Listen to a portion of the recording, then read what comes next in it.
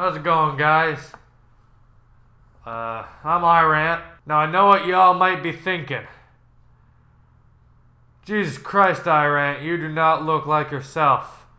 To which I say, well, no fucking shit. Every time I talk, there's a there's a fair amount of pain in my lower in my lower jaw right here, and it kind of hurts like a bitch sometimes. The reason for that is obviously I just got my wisdom teeth out. I got them out fairly early compared to other people, because if I didn't get them out in about two years, they'd be trying to fucking get out themselves and it would have hurt even more. Wisdom teeth are like this the stupidest fucking part of the body. They do nothing to help you. All they do is just inflict pain on you. Now scientists are saying uh, because of evolution, uh, a lot of humans these days are not being uh, being born with wisdom teeth. It's becoming more common because either A, evolution is evolving humans to no longer have these painful teeth, or two, God is finally getting a fucking brain and realizing why the fuck am I putting these hurtful teeth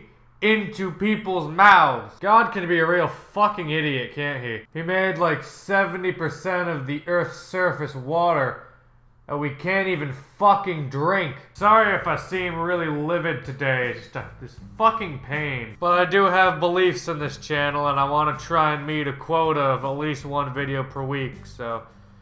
So I gotta do this. So I guess I'll just fucking tell you guys a story of getting my wisdom teeth out. So I think of myself as a veteran when it comes to surgery in my mouth. Because getting these wisdom teeth out, that was the fourth time that I'd been into a dentist to have surgery done on my teeth. The other three times were to have teeth pulled, two each time. Meaning I've had six teeth pulled. And if you count the wisdom teeth, that's ten.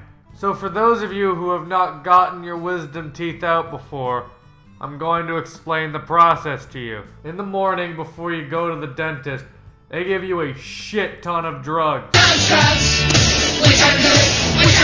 They get you impaired as fuck. I took seven pills that morning. I don't think I've ever been more fucked up in my entire life. Not really mentally, but more in cognitive functionality. Like you can't stand. So after you take the pills and you wait a little bit, uh, you, you go into the surgery room, or whatever the fuck it's called. They give you a shot in your arm, and then they put a gas mask on your nose. It puts you in this weird world where you're in between being asleep and being awake. And it's the weirdest fucking feeling. You are relaxed as shit. I was so relaxed that I never wanted the surgery to end. Like, it was so soothing and relaxing. It's it, it's undescribable. And when the surgery was done, I was sad. Whatever fucking drugs they give you, it fucking works. Like, looking back on it, the surgery was by far the best part of the day. Because at the beginning of the day, you're worried about the surgery. During the surgery, you're fine, you're mellow. After the surgery, you have to deal with your mouth being fucking frozen for the rest of the day. So if you're worried about the surgery, don't be. It is by far going to be the best part of your day. Because after the surgery, I got home and I laid down in a puddle of blood. Literally, I was in my bed for three hours coughing up blood. It was not fun. There were times where I nearly choked on my own blood. The towel that I was laying on was about one third completely covered in dark black blood.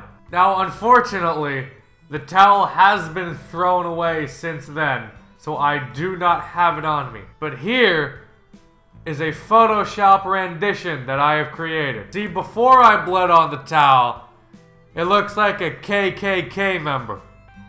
After I bled on the towel, it looks like a KKK member after it got the shit beaten out of it that it deserves. And then I continued to bleed for about another two hours after that. And then I just had to deal with my mouth being frozen. I've had my mouth frozen five times in my life. It is not fun. It's extremely hard to eat.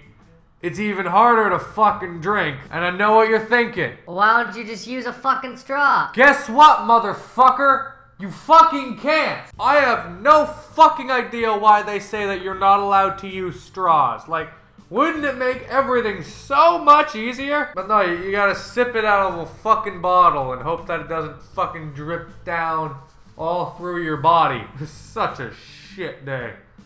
Such a shit day. But in the end, it's all over now. I'm so fucking happy I got it over with. And make sure you talk to your orthodontist about getting your wisdom teeth out. Because if it's too late, they're gonna pop out by themselves and it's gonna hurt like a bitch. Also, after you get your wisdom teeth out, make sure you follow the guidelines of your dentist. Because if you don't, you get an infection in there. And holy fuck, you don't know pain until you had an infection in your mouth. Did I mention the surgery cost $2,016? That 20 minute surgery cost the same as a used car. I think I'm gonna end this video soon because the more I talk, the more it fucking hurts my mouth. What the fuck does it hurt so much when you fucking bend over? Like, is it because like the blood is rushing to your head or something? But I've noticed every time I bend over, there is an immense amount of pain in my cheeks. Like the most pain I get from my cheeks is when I bend over. I got no fucking clue why or how that is. Fucking kill me. Anyway, uh, I'm gonna wrap this up now. I don't know why I was wrapping it around a towel the whole fucking time. Like this is this is way better. Uh... And, and if you're looking for the video uh, of me like acting all fucked up after I left the dentist because of uh, because of the drugs that they gave me, uh, it doesn't exist. Does not exist because I don't know if it's because I've done it so many times or because of my age. Because after I leave, like mentally, I'm perfectly fine. I'm not fucked up at all.